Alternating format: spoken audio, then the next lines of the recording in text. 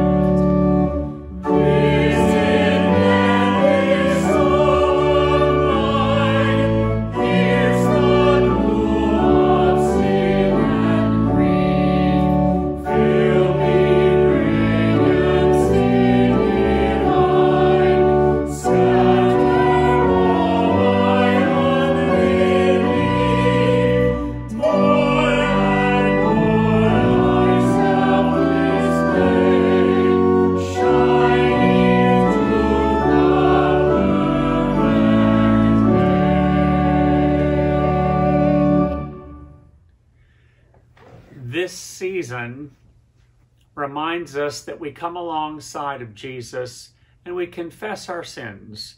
We try to get out anything that impedes our relationship with God, and sin certainly can do that. So join me as we pray together.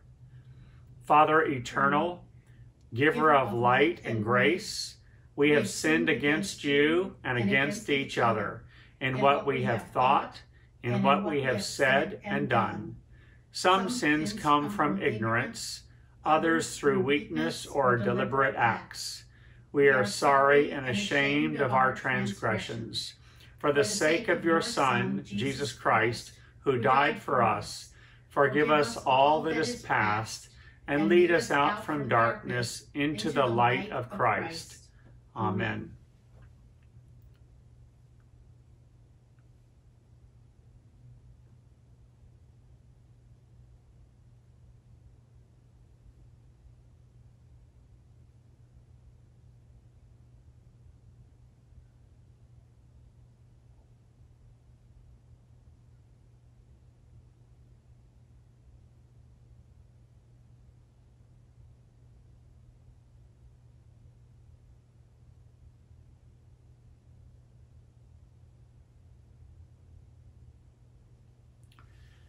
Join us now in the song response.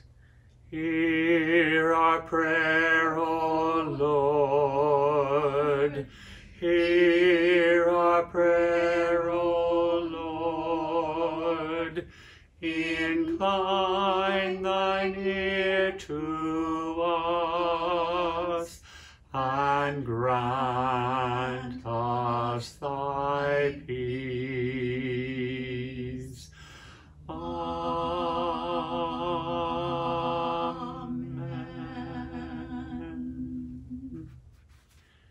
Us pray. O Holy Spirit, illumine our hearts so that we may be ready to hear your word and respond in the journey that we face ahead. In Jesus' name we pray. Amen. Hear now a portion of Psalm 22 that we usually hear from the beginning, but this week we start with verse 23. You who fear the Lord, praise him. All you offspring of Jacob, glorify him.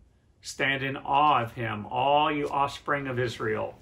For he did not despise or abhor the afflicted affliction of the afflicted. He did not hide his face from me, but heard when I cried to him. From you comes my praise in the great congregation. My vows I will pay before those who fear him. The poor shall eat and be satisfied.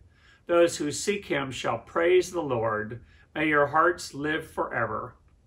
All the ends of the earth shall remember and turn to the Lord, and the families of the nations shall worship before him, for dominion belongs to the Lord, and he rules over the nations.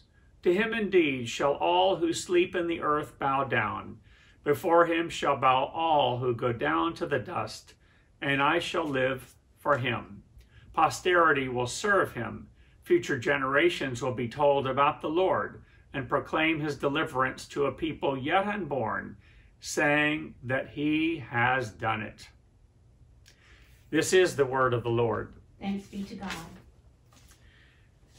Now we hear the paraphrase of the psalm by Michael Morgan, uh, put to music by our vocal quartet.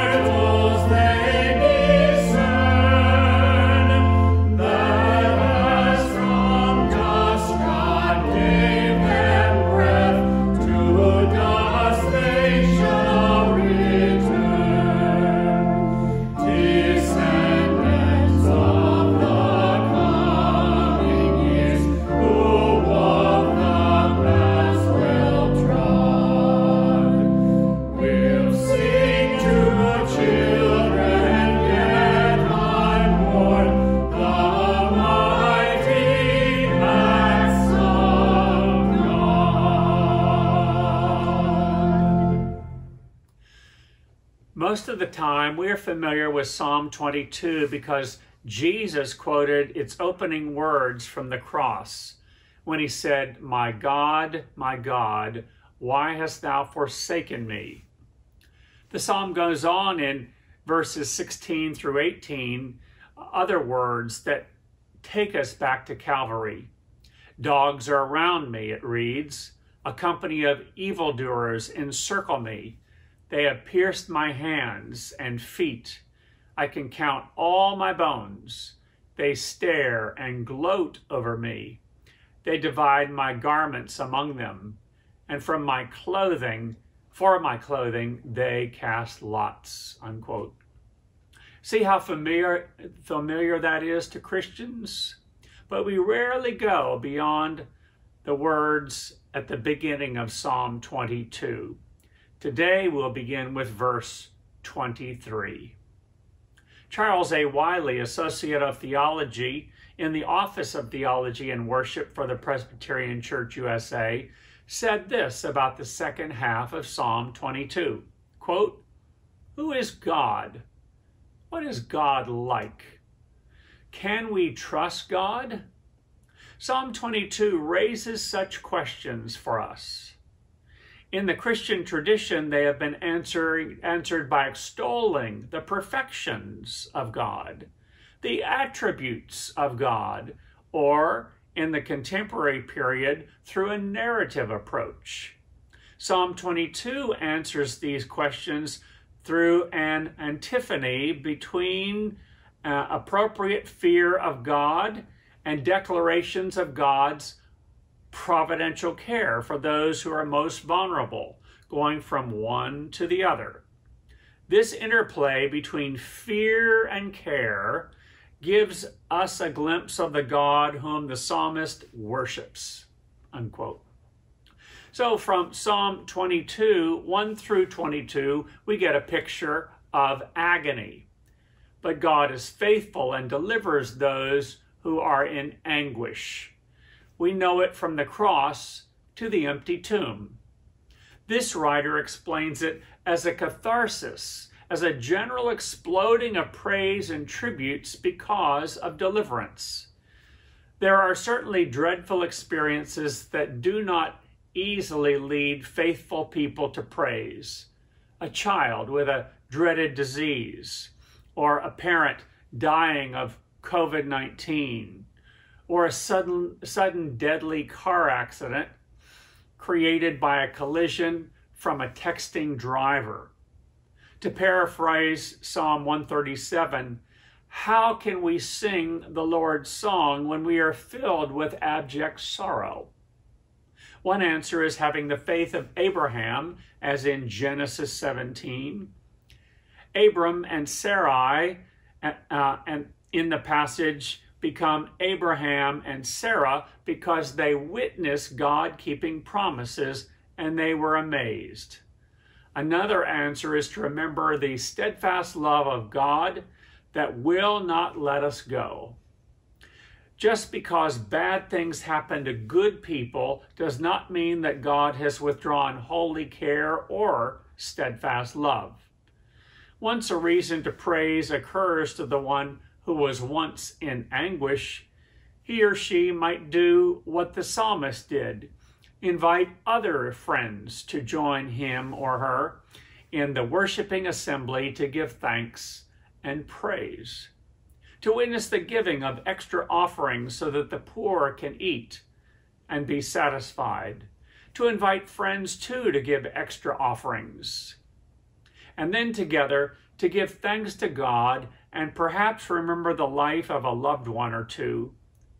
The old Sunday school lesson taught to the young might be said also from Psalm 122 I was glad when they said unto me, Let us go into the house of the Lord. Our women's group and our vacation Bible school studied the book of Esther one year. Our one scholar has suggested that, quote, David composed Psalm 22 in anticipation of the exile and future deliverance of God's people by Queen Esther, whom they pictured praying at each time she passed through the king's idol filled chapel. Unquote. Once again, a reference to Abraham being a father of a multitude is recalled, even as, quote, all who sleep in the earth bow down. As verse 29 describes, and, quote, before him shall bow all who go down to the dust, and I shall live for him, unquote. Do you live for Him like David does? If so, we are to testify to those around us and remember those who have gone before us and hope for those who come after us that God, in all times, will always be honored and praised. Even Jesus, in his anguish, at the hands of the torturing mob, said, Father, forgive them, for they know not what they do.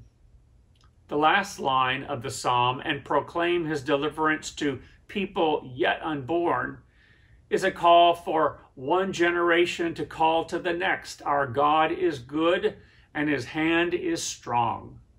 That was part of the gathering song we sung for our Wednesday night gatherings called The Epic Story.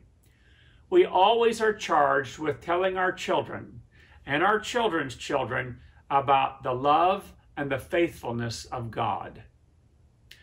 Join me again for our Sunday service beginning at 8 a.m. on YouTube at WBTS Church or on our website at WBTS.org and again next week for our Lenten Psalm service.